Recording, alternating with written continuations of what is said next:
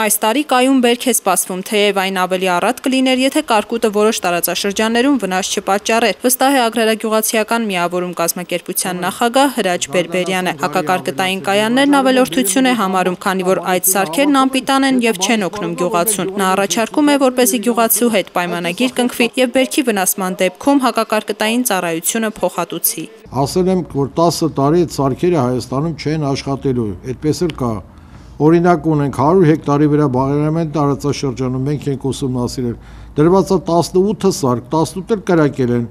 ամբողջ բերքը վնասվել է կարկուտից կարծում եմ եւ մենք նախարարության հետ էլ կարծես թե համաձայնացնում ենք դա պետք է մտնեն կառավարություն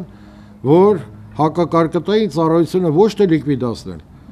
այլ բյուջեի ֆինանսավորումից հանել եւ անցկացնել տնտաշվարկի չէ որ դա ծառայություն է յուղացուն Դա ծառայություն է, չէ, հակակարկտային։ Ոնց որ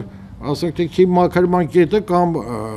տարբեր ծառայություններ ունենք, դա էլ մի ծառայության տեսակ է գյուղացուն։ Է գնացեք պայմանագիր կապեք հետը, երաշխավորեք, որ ձեր սարքերը ժամանակին կկրակեն եւ էֆեկտիվ կլինեն, որի համար գյուղացին կվճարի։ Բայց համենայն դեպս բերքը կորցնելուց դուք պատասխանատու կլինեք դրա համար։